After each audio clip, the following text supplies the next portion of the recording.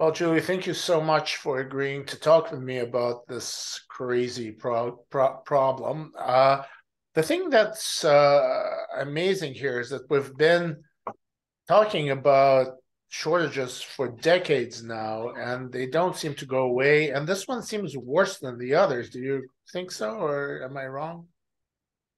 You're 100% right, Paul. Uh, you know, ASCO's been giving testimony in Congress dating back to 2011, 2012, when we had that cytarabine shortage for leukemias, um, as well as some other drugs. And then, um, and so we've had roundtables, we've had summits on this, and um, very little has happened. But what makes this, this cisplatin carboplatin shortage, uh, in particularly a big problem is just how many cancer types rely on these drugs as a critical part of curative uh, therapy.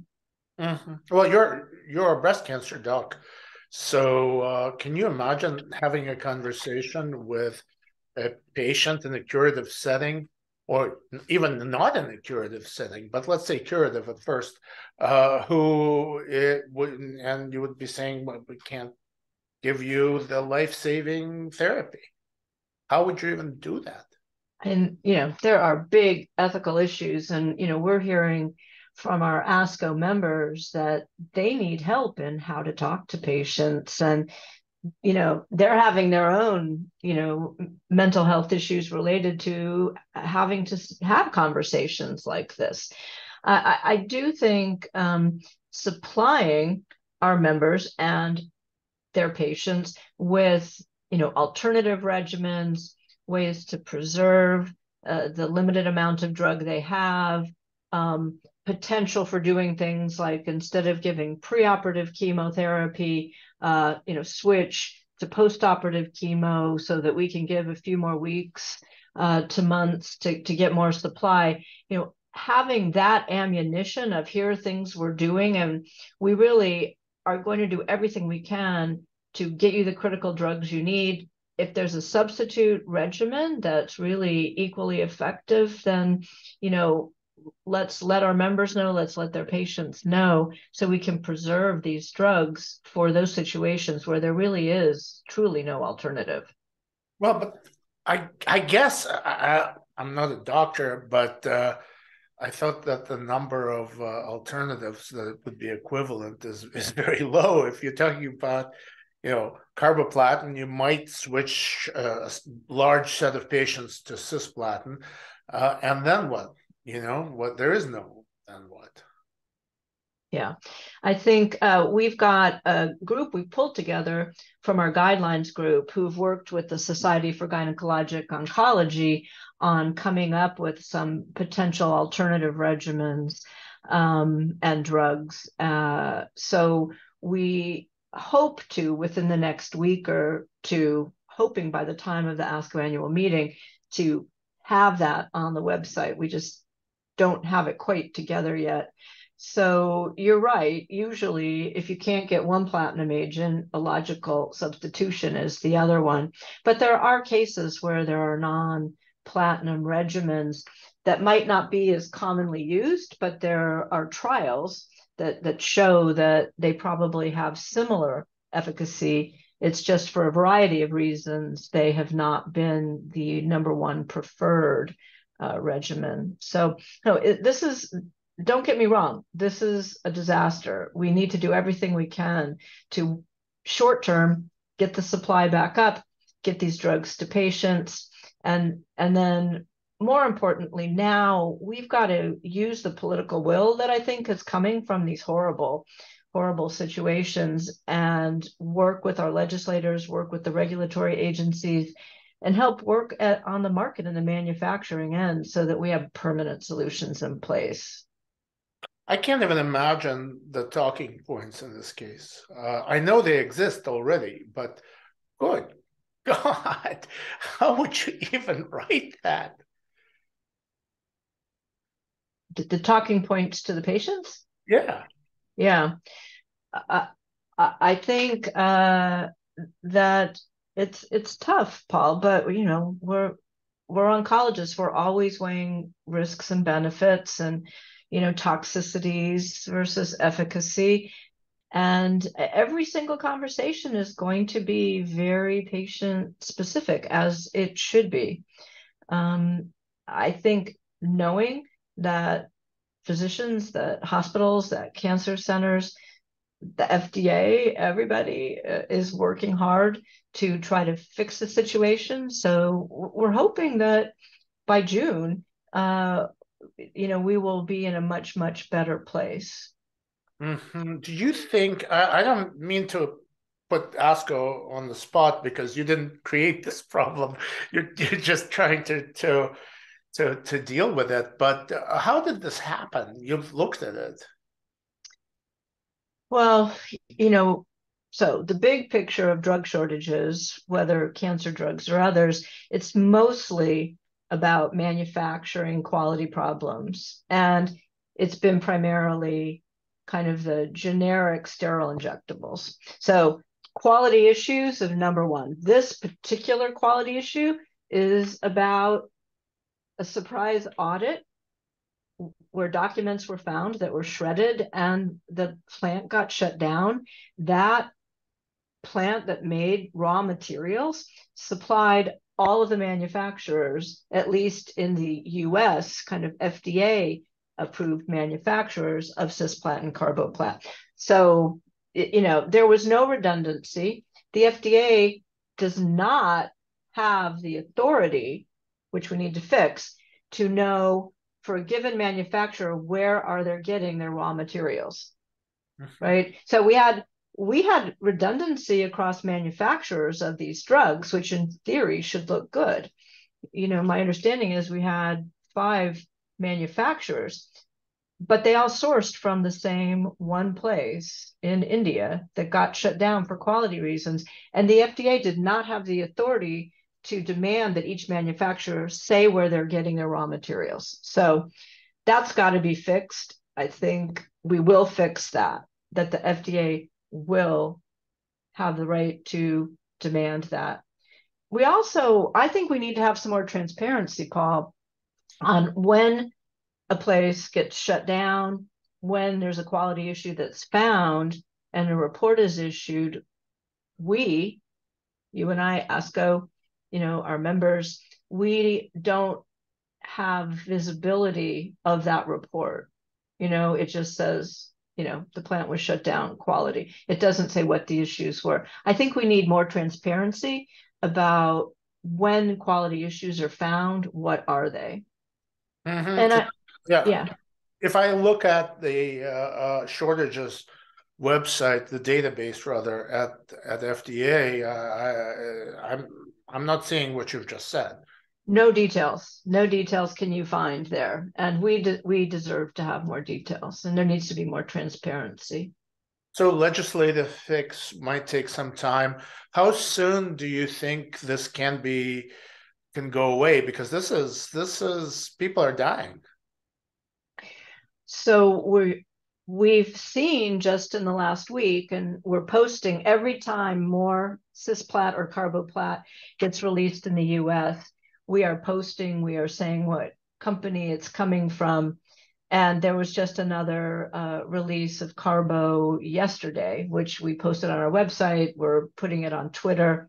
So, um, so it, we are seeing more release. We are seeing more drug coming out. We are hoping that sometime in June that this will not be so critical. I think we'll still need to be careful uh, in June and try to maximize the supply we have. But I, we're hoping as we're watching this day by day, week by week, slow release of more and more drug, that we've hit the bottom and we're slowly starting to come out again. Um, so you think it's going to be months longer, or you just don't know? Probably it's not. not yeah. Hard, hard, hard to know. Uh, we're going to have to be careful with these drugs for a while, I think. But being able to get them to the critical patients who need them, uh, I think, hopefully, will be markedly better within a month. That's my guess. I don't know. You don't know. I certainly don't. yeah. Yeah. What else can? Uh, well, what about clinical trials? Uh, there, there's going to be an impact on clinical trial. Absolutely. Uh, when platinum is in either the control or the experimental arm, and you can't access it, uh, it uh, either pauses your study or you know you have to scramble and come up with an alternative. So there will be trials uh, that are impacted by this hopefully only for a month or two, you know, but we've learned how to be a bit more flexible. I mean, just, you know, just think about this leading up to this acute issue. We had the pandemic mm-hmm. and and we, you know, back in 2020, you know, as the pandemic hit, um, there was a survey of US oncology pharmacists on oncology drug shortages that led to delays in chemo changes in treatment or omission, uh, complications of clinical research, et cetera. And there were like five or six cancer related drugs that just the pandemic and the issue of the pandemic, uh, you know, globally in the US, impacting manufacturing, um, did that. So we were vulnerable from the pandemic. And you know, fludarabine has been a big recent issue as well. It impacts far less patients um, than cisplatin and carboplat, but it's equally critical in the smaller number of patients where it's critical. Currently, we have 15 oncology drug shortages listed on the FDA's website. The only critical, critical ones right this minute are the platinum agents, but you know there are others at risk others in shorter supply.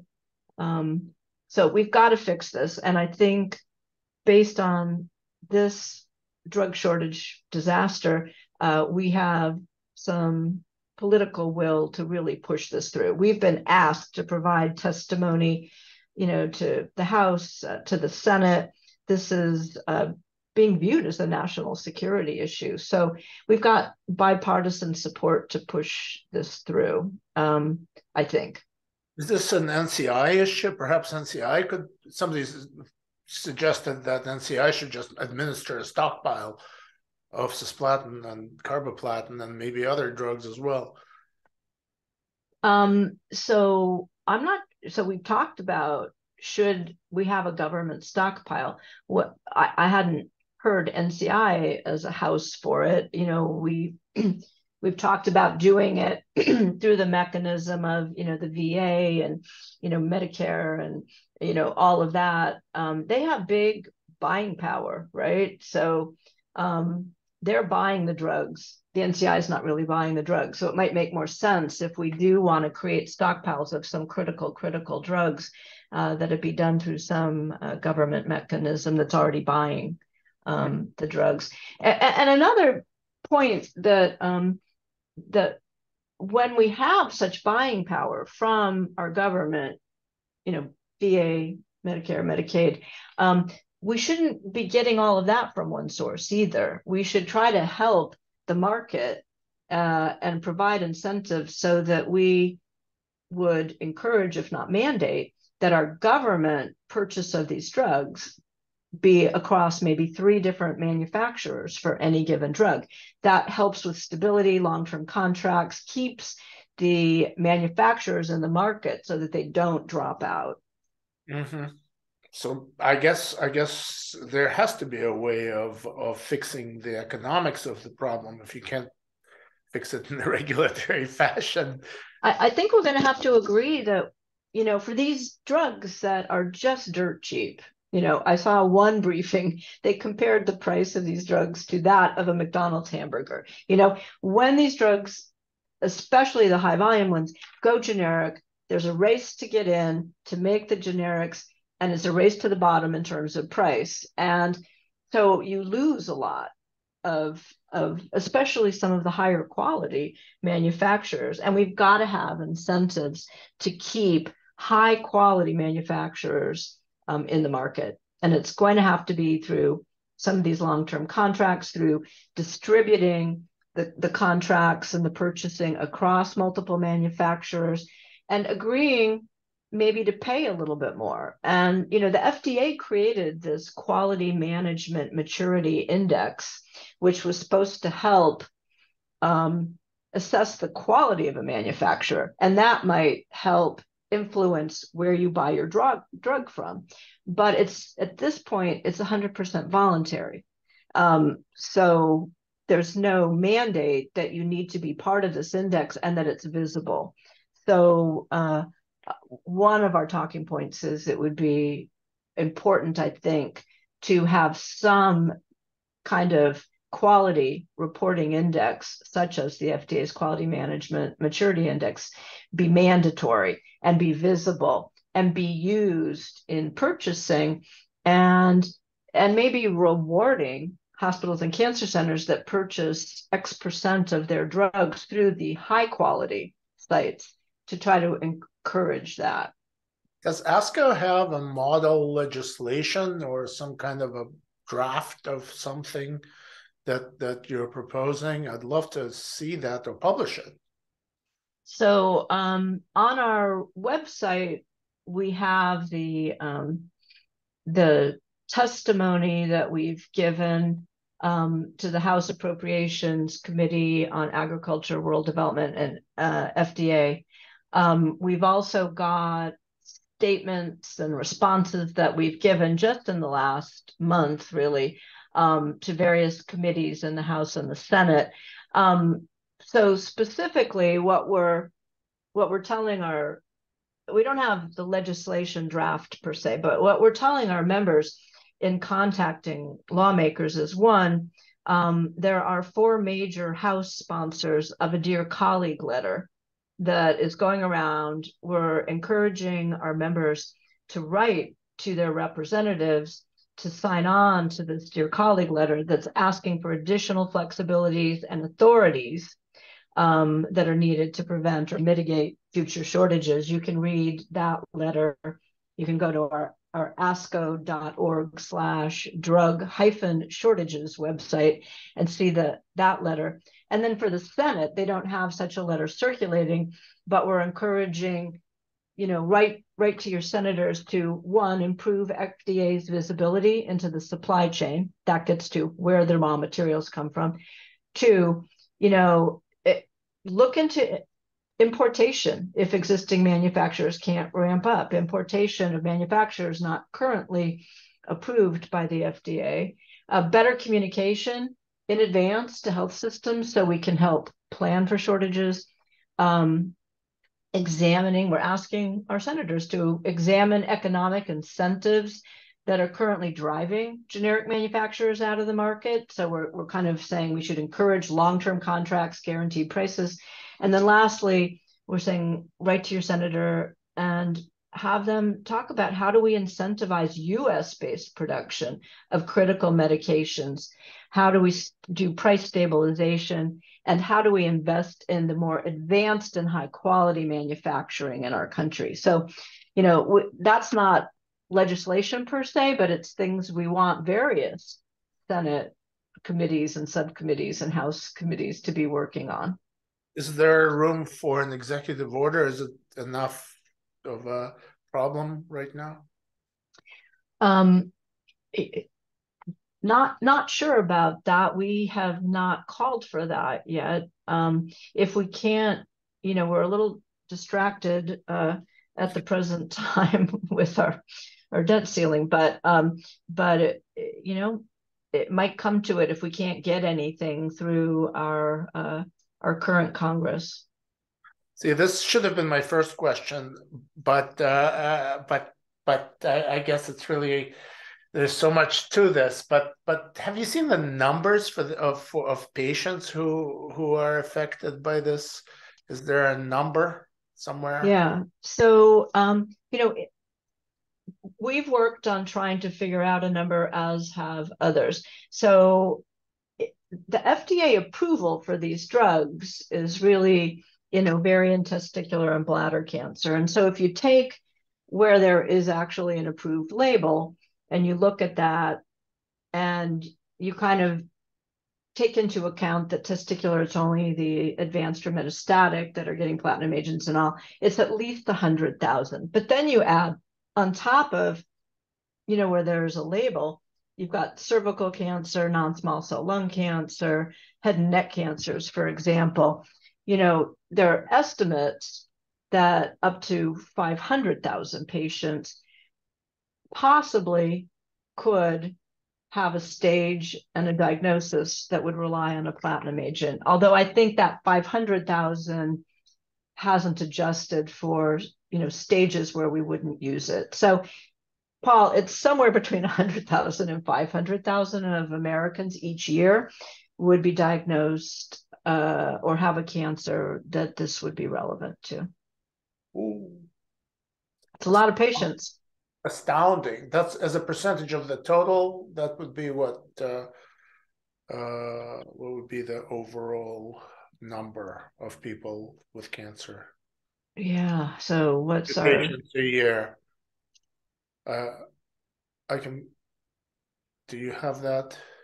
So uh, I think we have about 1.8 million new cases reported annually, somewhere around there.